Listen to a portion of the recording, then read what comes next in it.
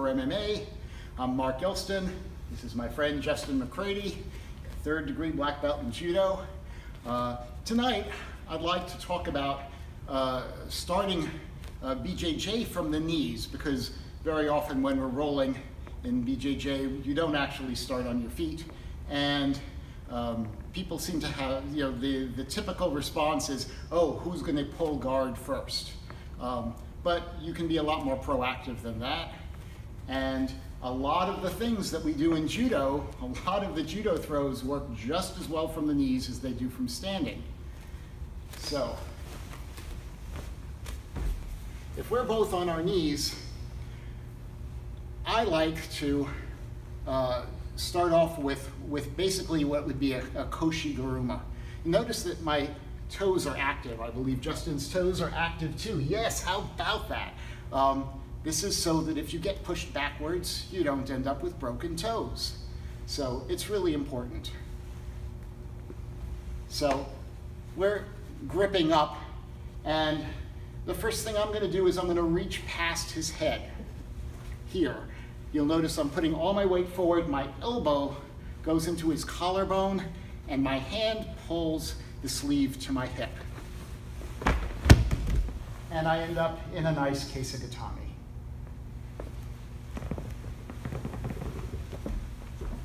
So in slow motion, my hand is coming up, elbow to his collar. This pulls to the hip. At the same time, I'm bringing my right leg forward. My knee comes forward and tip, and I just sit on through into a kesa.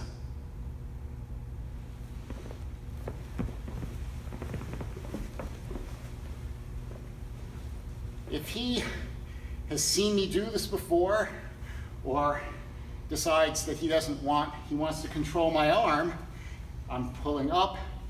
So this time I'm going to come up from underneath into an underhook and kuzure kesa, which is your typical side hold for jujitsu. If you prefer this, you can just start with an underhook. Um, I like going over the top. I think it's a little more natural. But as soon as I feel that pull down of the arm underneath, here, very important, to reach as far as I can. I'm extending my arm over his far shoulder.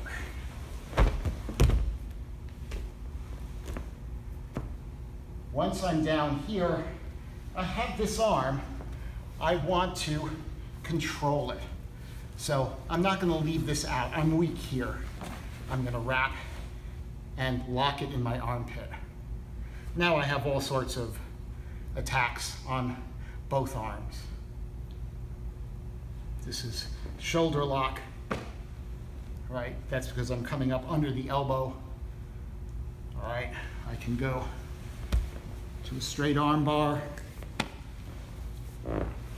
All of these nice attacks.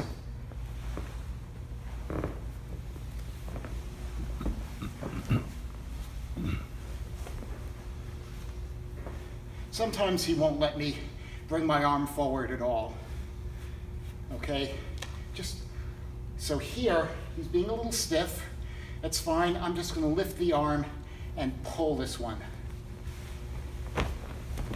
And go right into side mount, side control.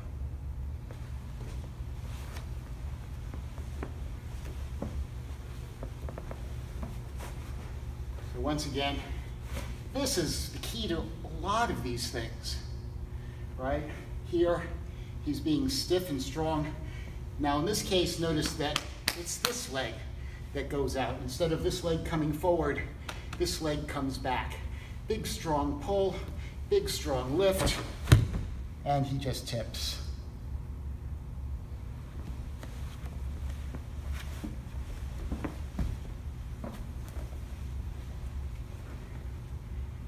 His arm is really like iron and he's just holding me in place, I can't lift it, I can't pull it. Down, turn, back.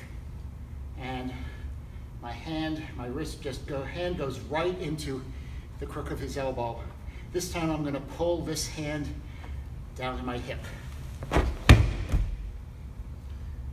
From here, trap the arm. All right, I want my knee against his head so he can't roll into me. I'm pulling up on this arm. Can you roll in? Okay, that's what's gonna happen. If you allow implosions, there's an implosion here. Otherwise, you can just move into nice north-south position.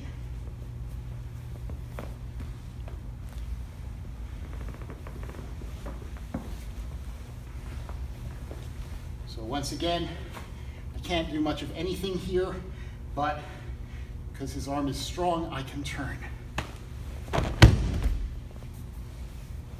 Knee over, keep his head out of the way, trap his arm.